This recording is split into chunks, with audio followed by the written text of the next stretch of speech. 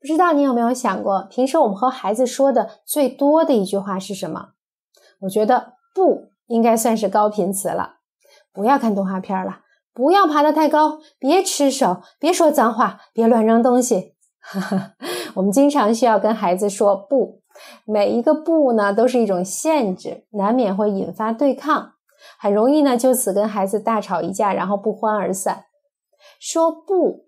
背后的本质其实是保护，让孩子远离对他有害的事儿，但是呢，却常引发亲子冲突。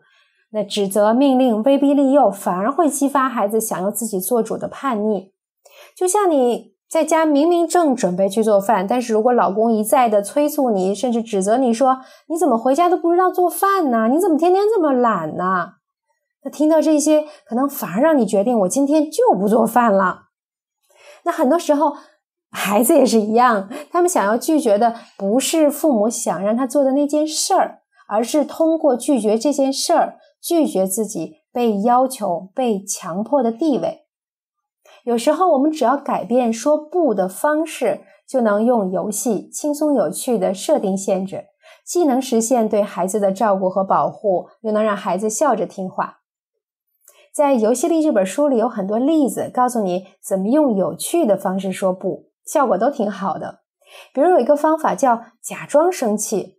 什么是假装生气呢？就是用一些貌似威胁，但实际上傻乎乎的话表达自己的情绪。比如，如果你再这样，妈妈就要唱《一闪一闪亮晶晶》了。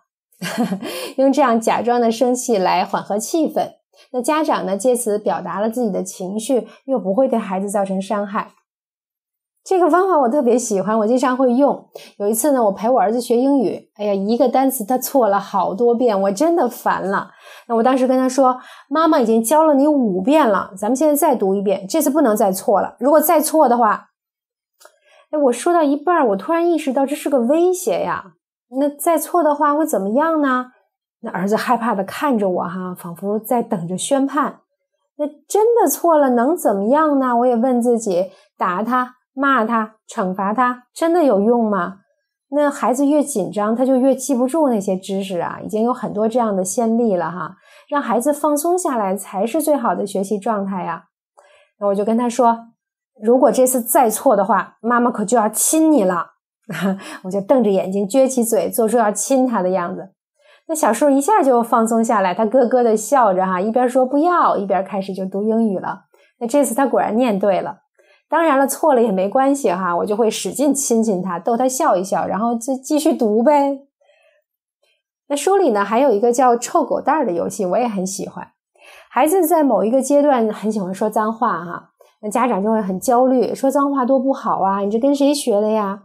那可能也会很严肃的跟孩子说，不准说脏话，说脏话不是好孩子。可是很多时候你越是制止，孩子就越说得起劲儿，是吧？为什么这样呢？因为孩子喜欢说脏话，哈，是骂人能够感受到力量感，他会觉得有力量支配自己的语言，有力量掌控别人的感受。只要一说某个词，大人就会大呼小叫的开始生气，他会觉得特别有意思。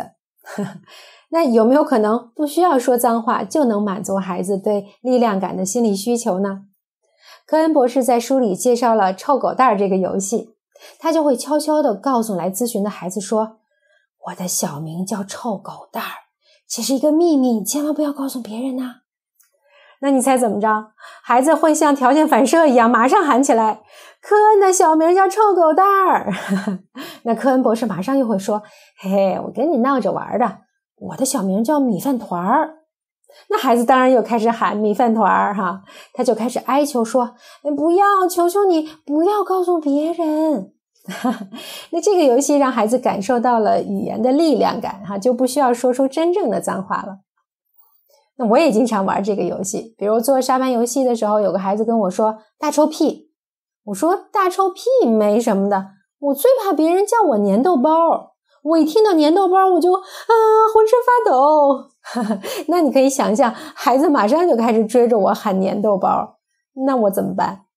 我就要做出气急败坏的样子哈，追着他，我要报仇。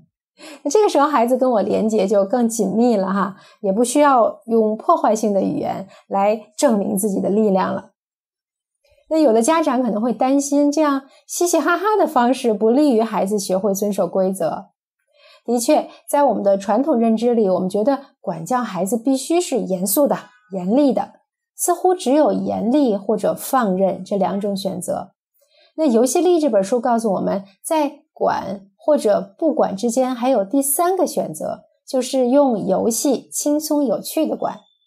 那我们可以做到，既用高标准要求和约束孩子，又能理解他的需求，给他们连接和爱。游戏绝不代表放任，只是避免了严厉、指责和愤怒。